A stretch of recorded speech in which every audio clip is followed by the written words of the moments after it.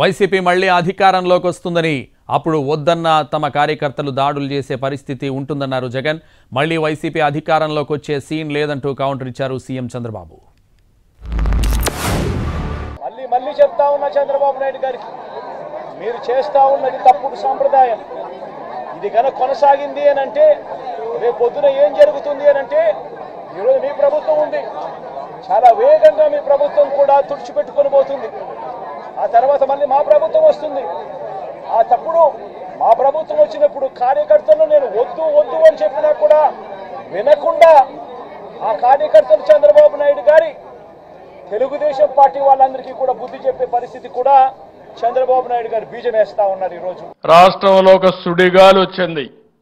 ఆ సుడిగాల్లో అడ్రస్ లేకుండా అప్పుడున్న పార్టీ ముఖ్యమంత్రి కొట్టుకుపోయే పరిస్థితికి వచ్చారు. ఇంక తిరిగి వచ్చే పరిస్థితిలో కూడా లేరు. దౌర్జన్యాలు చేసి ప్రజాస్వామ్యాన్ని అపహాస్యం చేశారు.